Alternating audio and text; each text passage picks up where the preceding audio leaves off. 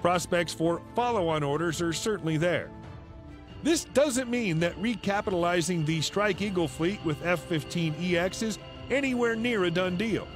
But the door is open and might just prove to be another case of the swiftest, cheapest, and most sensible way to keep some of the Air Force's most important fighter squadrons in business.